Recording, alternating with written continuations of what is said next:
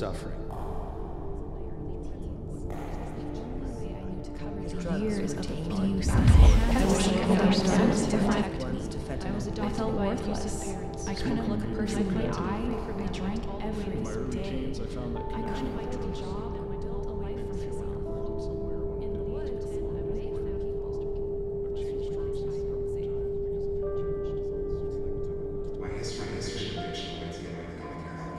Because of my history, feel judged. My history of addiction gets in the way of getting the healthcare I need. The label follows you. What about everything else I've done? I was good at my job. I took pride in it.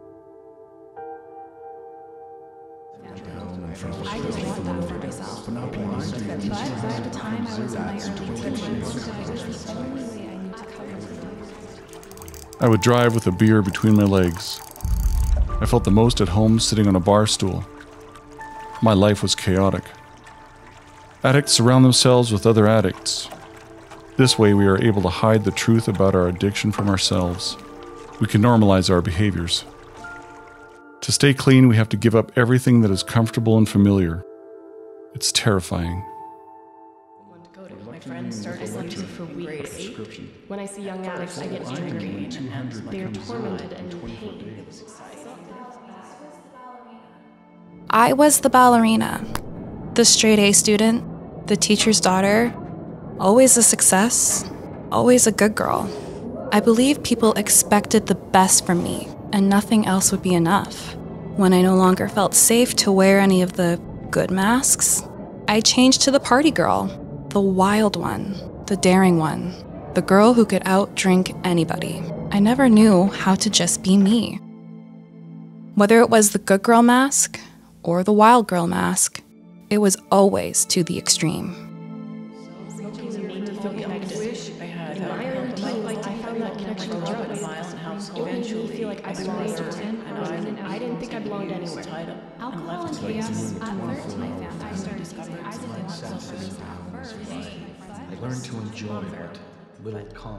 This is where I felt at peace with myself.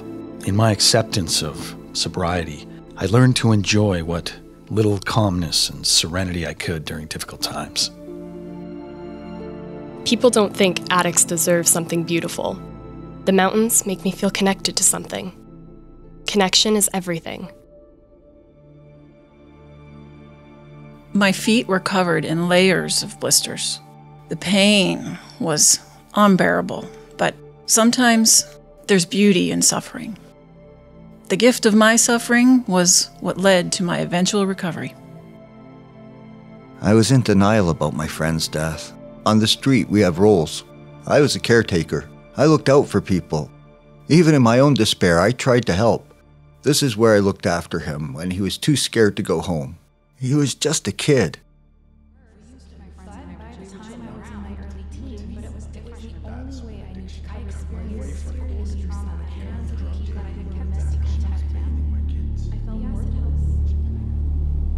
Like doing a 24 hour famine, then sitting down in front of a plate of food but not being able to eat. That's what addiction and recovery feels like. Every day you are that hungry.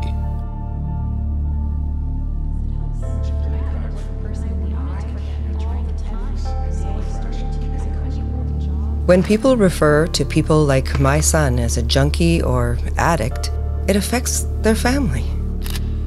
It casts a dark, ugly shadow that can make you feel ashamed and alone.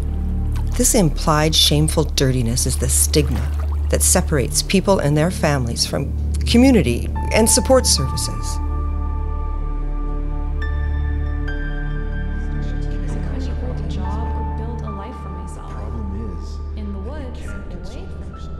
I've come a long way from that little Indian boy hiding under a bed, afraid to speak.